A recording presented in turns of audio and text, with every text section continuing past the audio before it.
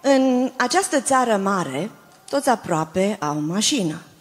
Și mergând pe aceste drumuri, ești atent mereu la frână. Cartea cu povețe sfinte ne vorbește de înfrânare pe cărarea mântuirii, pentru mic și pentru mare. Când un frate te amenință și ți arată pumnul mână, ești gata ca să-l replici, fă ce faci și cu mașina stai pe loc și pune frâna.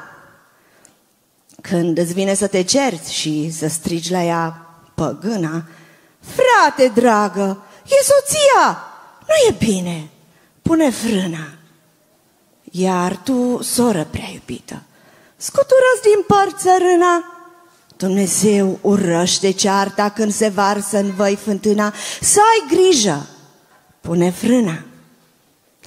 Când dorințe necurate îți aprind în flăcărtorul, tinere, ia bine seama, pune frâna cu piciorul. Când auzi mereu chemarea din noianul de păcate, ține minte, înfrânarea este bună pentru toate, căci în iad se duc și frații care uită de pedală, cei ce zbiruiți de patimi, de pofte sau de momială. Unde este înfrânare, e de plină armonie. Numai stelele răzlețe au căzut din veșnicie.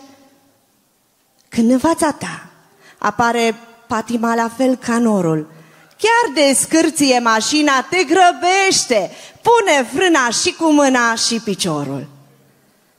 Este bună înfrânarea de la tot ce este rău. Înțelege căci porunca vine de la Dumnezeu. Amin.